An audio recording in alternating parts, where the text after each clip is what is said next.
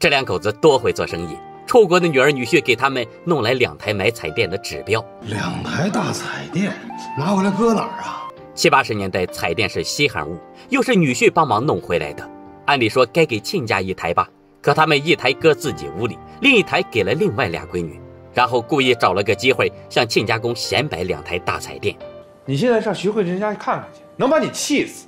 亲家母陈雪茹果然眼红，当即亲自过来一探究竟。结果一进门就看到亲家母徐慧珍正看着大彩电，一边流眼泪一边叫好。几台？这是中央台。几台彩电？两台。陈雪茹那个羡慕嫉妒恨呐！两年来她求爷爷告奶奶，就是弄不到彩电指标。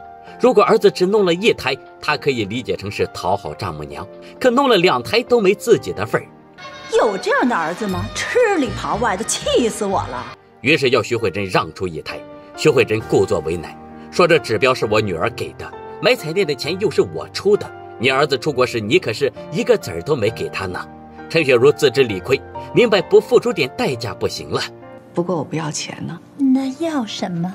我要你上次给我看的那幅画。陈雪茹虽然也是人精，可吃了没文化的亏，觉得一幅画哪有彩电稀罕，于是痛快的用画来换。为了防止他醒过味来。亲家公蔡全无又一唱一和，七如啊，真让我们忍痛割爱啊！你没听见？是慧珍先提出来的，我们是平等交换。蔡全无装作不情愿的样子，背着彩电给陈雪茹家送去，名为送彩电，实际上是怕夜长梦多。你先回去吧，这画呢，我回头亲自给慧珍送过去。陈雪茹欺负蔡全武老实，就想来个空手套白狼，怎料人背起彩电就要走。陈雪茹这才让老公范干部把郑板桥的那幅画拿来。你不是和牛爷都换了？陈雪茹一拍脑门，装作恍然大悟的样子，并让范干部挑一幅价值相当的画来代替，自己则邀请蔡全武背着彩电到屋里喝水。殊不知蔡全武一早就识破俩人串通一气，于是寸步不离大彩电。